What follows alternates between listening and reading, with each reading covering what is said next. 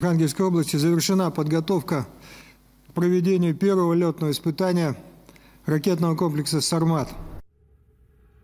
Старт состоялся в 15 часов 12 минут по московскому времени. Как сообщили в Минобороны, все задачи выполнены в полном объеме. Подтверждены расчетные характеристики на всех этапах полета «Сармата». Учебные боевые блоки прибыли в заданный район на полигоне Кура на Камчатке. Испытания перспективной ракеты тяжелого класса с разделяющейся головной частью позволили оценить правильность схемно-конструктивных и технических решений, заложенных